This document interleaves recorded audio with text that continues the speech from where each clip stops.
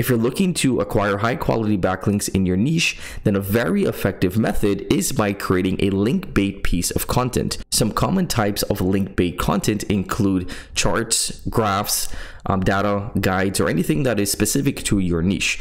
So in today's video, I'll be showing you how to research and gather data and create tables and graphs specifically for your niche that will allow you to attract high quality backlinks using ChatGPT. So let's go ahead and get started. The first thing that you need to figure out is what type of graph or table you want to create within your niche that will be relevant and that people will want to link to or reference to when they're creating uh, content or articles within your niche. So for example, I'm in the AI niche and I can ask ChatGPT to give me some ideas for link bait data and graphs. So we can see here, I've asked it to um, give me a list of relevant and interesting data that I can create a table or chart for.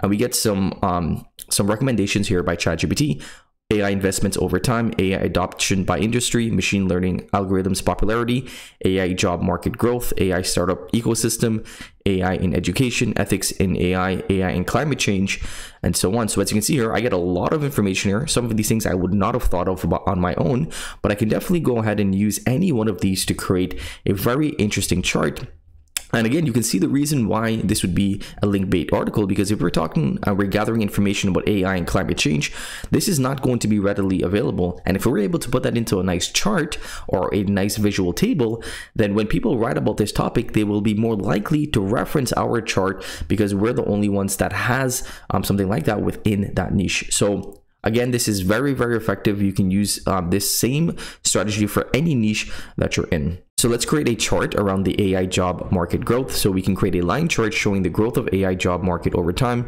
This can include data on the number of job postings and number of applications and the average salary for AI jobs. So this would be a great chart for us to create. So the first thing that we need to do is extract or gather our data.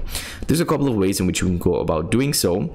Um, the first method is to just head over to Google and we're going to search up um, our topic here and open any one of these links. And this looks pretty relevant to what we're creating our article about. So what we can do is we can either use the web pilot mode uh, to scrape the content or we can just go ahead and copy this over because we are using GPT-4. We have a lot of context windows. So I find that sometimes that works a lot better by just pasting in that content. And then we already have our tables um, and diagram plugins enabled. So we're using diagram with a dot in the middle and we're also using the other diagram app um, which is just called diagrams. So now that we have the information and the plugins enabled, I've asked the AI to create an engaging chart or table using the information above. Here is a chart that we are able to get back and it used the diagram app with the dot right after the R. This app seems to be working better compared to the other uh, ChatGPT plugin that creates tables and charts. So here is a chart visualizing the average salaries for AI and machine learning roles in 2023 across different countries. So the chart represents the average salaries for different roles in AI and machine learning across four countries, India, US, UK, and Canada. So we can see the chart by clicking on this link here. As you can see, it's a very visually appealing um, chart. It is labeled with the different colors. So we have India being red, US being green, UK being blue, and Canada being yellow. So we can see the average salaries, but this is a little bit skewed because it's all in local currency. So for India, it's in Indian rupees. For the US, it's in USD. And for the UK, it's in pounds. And for Canada, it's in Canadian.